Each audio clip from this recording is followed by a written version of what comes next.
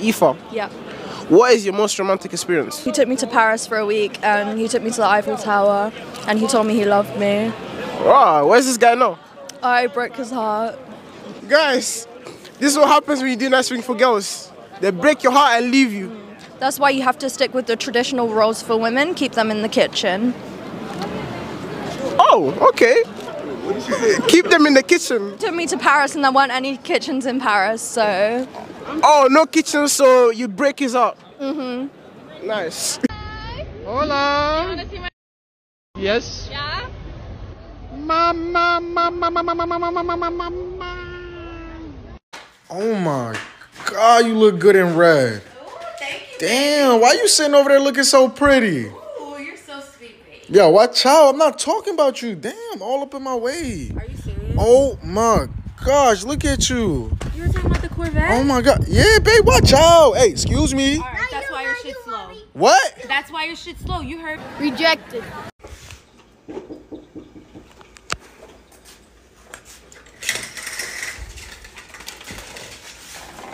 Yes. Can I come back inside now?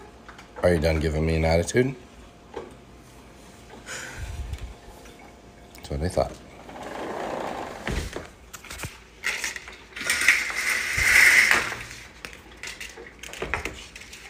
How many a day does a guy deserve? At least three. Okay, what if your man doesn't make you as much every day? Does he still deserve three nuts every day? I am a giver, so I like giving. I like initiating. I like treating my man, especially like if that's my boyfriend or like that's the person I'm with. Like I want to please you, so I don't care. I'll I'll be the one like giving each time. What makes you like giving more than receiving? I think there's just like a certain power behind it, like especially like giving like no one forgets like the best they've ever had. And I want to hold that title with every person. Yes.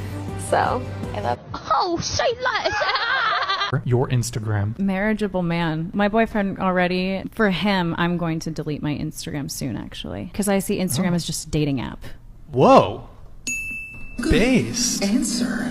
Based. Okay. And was that something that you arrived at on your own, or was it yeah, kind of? because I mean, again, if you're a certain level of attraction, even for girls, even if you're unattractive, you're still going to get guys in your DM. It doesn't matter because we can get a guy easier than a guy can get a girl. And so for me, I just I want to make him feel like he's the only man, and that comes with making him feel like he has a certain level of status. So I'll gladly delete my Instagram. I don't think I've ever heard a girl say that on this show. We've interviewed over a hundred people. That's why this one's the one who's going to get married. You're goddamn right. Can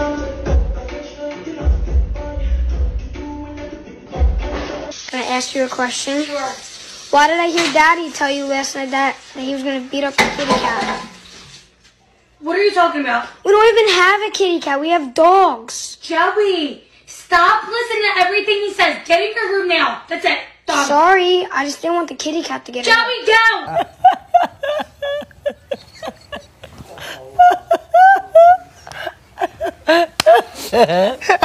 It gives me a, a certain definite sympathy. Um, and I don't mean that there's any disrespect, but it, it just makes me understand what's going on. Norah, as Ned, also went on about 30 dates with women, mostly arranging them on the internet. Did you have any fun? Rarely.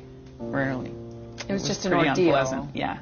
She says the pressure of Ned having to prove himself was grueling. Norah was surprised that many women had no interest in a soft, vulnerable man. My prejudice was that the, the ideal man is a woman in a man's body. And I learned, mm, no, that's really not. There are a lot of women out there who really want a manly man. Norah thought the perfect end to her 18 month saga was to join a men only therapy group, a place where guys tried to bond and show their emotions instead of hiding them. They don't get to show the weakness. They don't get to show the affection, especially with each other. And so, so often all of their emotions are shown in rage. A lot of this was blowing off steam. It's sort of talking about the things that need to be said that you know you would never do. I mean, you know, they would talk about fantasizing about chopping up their wives or something. It's not that they would ever do that, but it was a way to get out the blackest thoughts. Norah's 18 months of being an imposter was closing in on her. the pressure of being someone that you're not and being the, the fear of discovery and the deceit that it involves piles up and piles up. So by the time I got around to doing this men's group, it was really reaching critical critical mass. Nora was not harmed physically, but she continued her emotional descent and a week later checked into a hospital with severe depression. But her views about men have changed forever. Men are suffering. They have different problems than women have, but they don't have it better. They need our sympathy, they need our love, and they need each other more than anything else. You're goddamn right. They need to be together. Do you think women understand what it's like to be a man? Not at all. No clue. Norah Vincent went on a 18 month uh, experiment uh, where she lived as a man and she experienced that uh, on the 30 dates that she went majority of women don't want a soft nice guy. She realized that most men bottle up their emotions and they're not emotional. And she realized that most men are depressed. And studies have also shown that one in three men is either a virgin or hasn't had sex in the last year. Most suicides are committed by men. And um, Male uh, sperm count is down by 60%. Male testosterone is down by 40% since the 1980s. But we as men, what do we do? We don't cry, we don't fuss about it.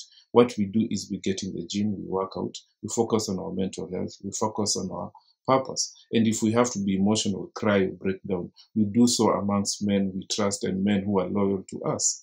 But unfortunately, after this experiment, after 18 months, Norah Vincent uh, fell into a state of deep depression and she ultimately committed suicide.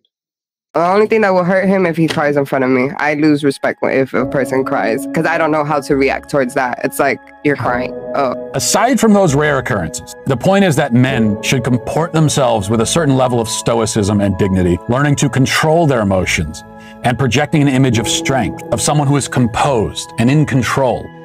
Men will do anything but cry.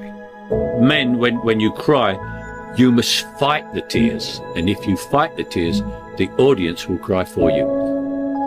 How many men suffer in silence? A woman will go out there and she will slap a man.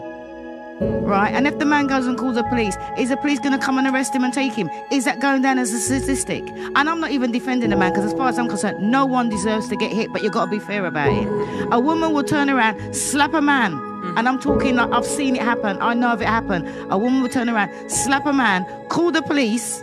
If the man slaps her back, and they will take the man. Absolutely. How many men out there are getting slapped by women and that will call the police and say, This woman slapped me? How many men are going out? Women are too so quick to easy and turn around and say, Oh, I've been abused. How is it for a man? If, um, if women, if that society would accept that men get abused, they will speak up more, and then you'll see the statistics change. So, as far as I'm concerned, all that talk about we should fear men and whatever, I've been battered by a man. I do not fear men because that is a rare occasion. That is a rare occasion. That is rare.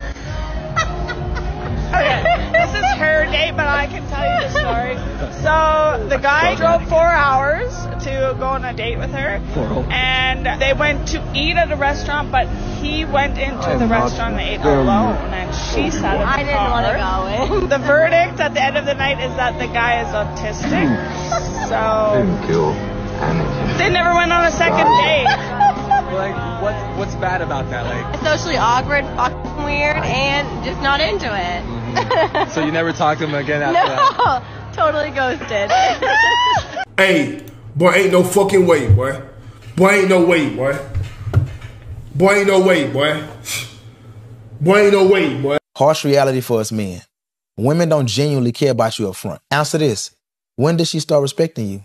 Was it at the beginning when y'all first met, the middle, or when she seen you had yourself in order? If you have a top five priority list, make sure them first four slots is you. Those first four priorities should be your purpose, your finances, your health, and your respect. Because at any given moment, that woman can switch up and put her feelings first. She how you playing a question game, asking yourself where you went wrong. I can tell you, them first priority slots you had when you met her, you slacked up on her. Don't ever do that. Keep them priorities right there and she'll respect you more. Just make her one of those priorities, but not the priority.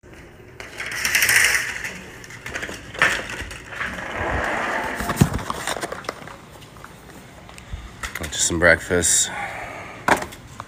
You done with your attitude? You want to come back inside? All right. Check on you tonight.